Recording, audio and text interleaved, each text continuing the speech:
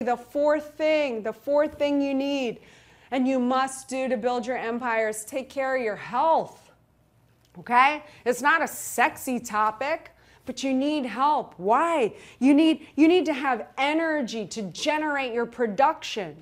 You need to have energy to deliver endurance, to have a clear head without fog, without depression, Stop being like focused on, you know, internal stuff. Get your attention out so that you can help people, so you can bring your products and services into the world so that people like me can benefit from you getting out of your own head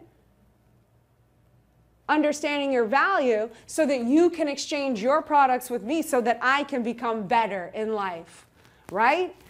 So we got to handle the physical body. We got to handle body problems, sleep, weight, whatever it is that's going on, your, your lethargy. I make up words too. Your lethargy. Is that a word? Lethargic. Like your lethargicness. Hey, I told y'all, I never went to college, okay? I make up words, you know, uh, that it is what it is, you know? And how do we stay young? I'm about to hit the 5.0 upgrade, okay? It's coming up next month. How do you stay young? How do you defy age? You know, how do we reverse? How do we live longer, healthy, productive lives so that we can help other people? You know, not be all old and decrepit. By the time you have all of your money, you better be able to enjoy it, right? So you got to have your health, okay, and live a more fulfilling life. Those are the four things that you must do in order to build your empire.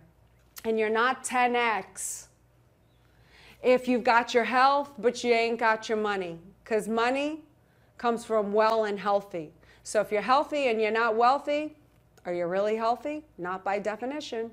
So you're not 10x if you're 10x in health, but your money ain't right. And you're not 10x if your relationships are great, but your health's terrible.